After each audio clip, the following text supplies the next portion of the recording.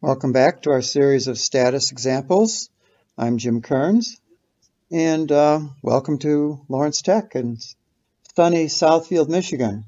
Beautiful day outside. It's actually above zero Fahrenheit. okay, um, first of all, I want to take just a moment to show how a couple is a free vector that seems to confuse students. So we'll, we'll look at that carefully. Uh, and what that means is we can move a couple around and basically apply it anywhere once we found it. Then we'll resolve all of the couples shown on that diagram to the left there. And we'll use different methods. We'll do uh, the perpendicular distance. We'll put it into Cartesian notation and find the distances. And we'll do a cross product just to see the different methods and then sum them up to get the total moment or the total moment from the couples on that. Now recall that a couple results when you have a pair of forces that are parallel, non-collinear, and opposite direction equal magnitude. So by inspection, we can see that there's no net force in either the x or the y direction, and obviously not in the z direction, but we do have a moment from each one. So let's pick an arbitrary point. We'll call it point O. We'll put it over here on the left. And let's find the moment due to each of those forces. We'll call those F. F1 and F2. Now I need the distance from the our origin here to, to those points. So I'll draw a position vector from O to F1. I'll call this R1. And rather than drawing on top of that, I'll just continue on with the second position vector from F1 to F2, and we'll call that R2. Okay, so the sum of my moments is equal to R1 times F, and that is clockwise, so that's a negative, and plus the moment of, we'll just add the vectors, R1 plus R2 times F. And that is counterclockwise, so that's positive. So if I put those together and solve for F, I get that sum of the moments is equal to uh, negative R1 plus R1 plus R2 times F. And of course, the negative R1, the plus R1 are left across, cancel each other out. So I'm left with R2 times F, okay? And that's my moment. And you'll notice that no matter where I put this origin, I can move it up, up and down. I can move it right and left. I can put the origin, my point O, anywhere, and I still end up with the moment being simply R2 times f, you know, the vector from f1 to f2 is our position vector times the magnitude of that uh, the couple you went to, f, and that's it. It doesn't matter where I place the origin, doesn't matter at what point I calculate that um, moment about. So that's why it's a free vector, because I can move I can move the point at which that couple is applied anywhere on the page, up, down, right, left. So I hope that clears up any confusion about why we consider a, um, a couple to be a free vector that you can apply anywhere. So let's start working on the vectors. I'm going to start with vector B.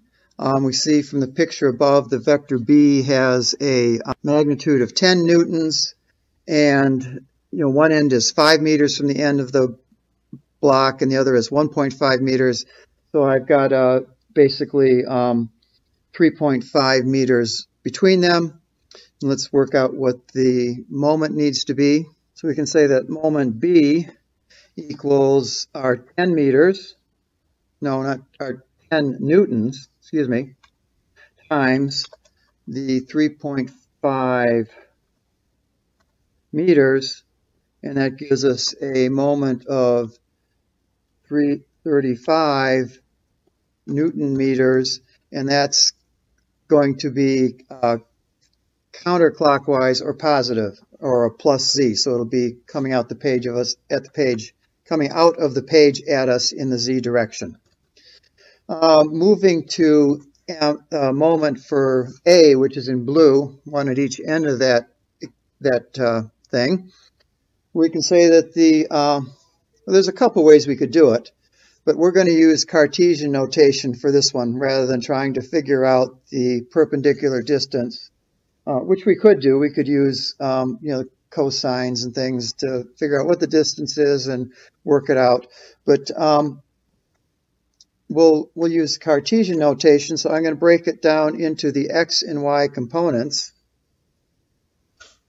So I'm going to have a, um, a y component for A, and I'm going to have an x component for A on each end, and then we can figure out the moment for each of those. Um, we can say that AX equals minus 5 because it's pointing to the left. I'm looking at the right-hand version of the uh, moment. Minus 5 times a cosine of 15 degrees, and that's equal to negative 4.83 newtons. And a, AY is equal to that, it's 5, um, and that's positive y direction. 5 times the sine of 15 degrees, and that is equal to 1.29 newtons. So looking at the x component, I have the 4.83 newtons is the force. The distance between the two x components, if I were to extend those, and let me draw those here. You know, the difference between that line and this line is one meter, okay? Given the, the distance of one meter and that force, my moment in the x direction from the a vector is going to be equal to that one meter times the 4.83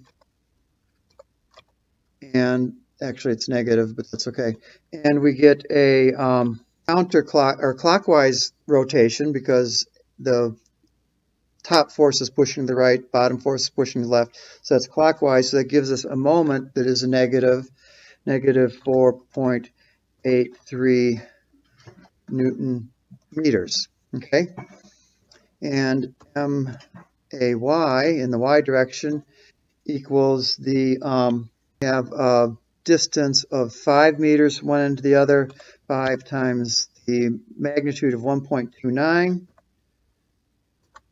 equals um, 9.15, and that is counterclockwise, so that's a positive moment, Newton meters, and that vector will be pointing in the positive z direction if we were to do it in vector form. So let's let's look at C now, and we'll do this in the cross product form, okay? Um, so the first thing I want to do is write the C vector in a Cartesian format. So my C vector, I'll put the vector signs on afterwards, equals 12 times a cosine of of 30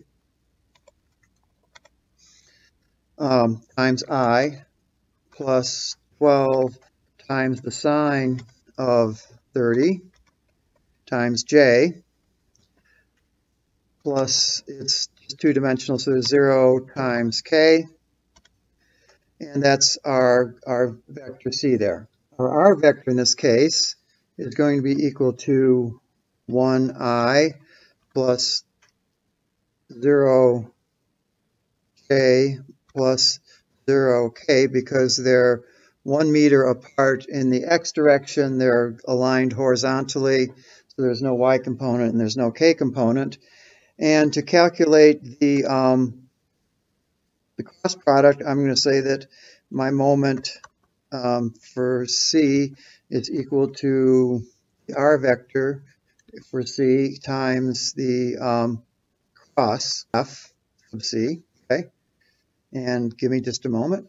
We want to calculate our moment m as r crossed f, and that's equal to the, um, we can calculate that by determining, by evaluating the determinant of i, j, k And our R vector here we'll put in as um, the R vector was 1, 0, 0.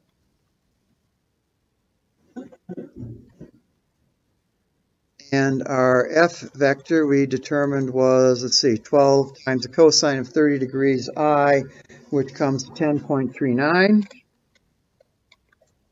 and J was uh, 12 times the sine of 30, which is 6, and K was 0. So we can evaluate that determinant, and what we end up with is that our uh, moment for vector C is equal to, um, well, if I look at it here, if I look at the I component, um, I'm going to do the determinant of the 0, the 0 minus 0 times 6, so that's going to be 0. The j component, um, 1 times 0 minus 0 times 10.39, those are both 0. The k component is 1 times 6 minus 0 times 10.39, so that's just going to be 10, 6k. We end up with 0i plus 0j plus 6k as my uh, component there. And then I can just add all three of those couples together, and it doesn't matter that they're applied at different places on that because we defined that the, the couple as a free vector so that I can say that the, the sum of my moment total, and these are all about the z-axis because they're all, it's a two-dimensional problem here. The moment about the z-axis is equal to 35 newton meters from vector B um, minus 4.83 newton meters from the x component of A plus 9.15 newton meters from the y component of A and 6 newton meters from the k component or the k component, from the k component of, of moment c, and that's equal to, if I did the math all correctly here, 45.82 Newton meters. So that should, uh, I think that covers that.